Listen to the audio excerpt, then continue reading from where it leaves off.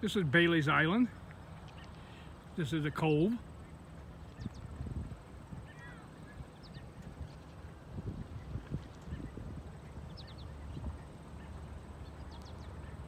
I think today, is July 28th. Wonderful day. 80 degrees. A little on the warm side, but nothing bad. This is Bailey's Island. Just trying to show the rocky coast. We're in Maine.